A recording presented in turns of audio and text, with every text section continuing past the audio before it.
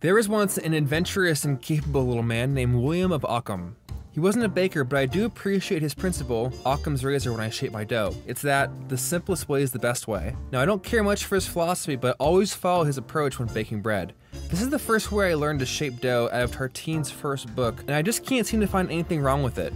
Every time I try and stitch or do something fancy, I just end up coming back to the idea of being simple. And that simplicity has given me consistency with what I do. And now I get bread that I really like, and more importantly, that my family likes. So don't be afraid to be simple.